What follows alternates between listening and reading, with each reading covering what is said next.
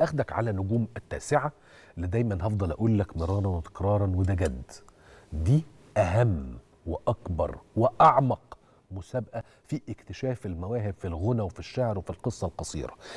النجوم التاسعة يذهب لينقب في السبعة وعشرين محافظة ويطلب من الموهوبين في السبعة وعشرين محافظة من أبعد كفر ونجع وعزبة إلى أكبر مدينة فيك يا مصر مليانين مواهب. ابعت على الصفحة بتاعتنا التاسعة قدام حضرتك اهي على الفيسبوك. حضرتك هتبعت الموهبة بتاعتك إن كنت بتغني هم دقيقتين غنى بعد إذن حضرتك في الفيديو. وظبط نفسك كده وظبط الصوت وظبط يعني عايزك تظبط كل حاجة. والصوت يبقى سالك كده وتشرب اليانسون وتهيص.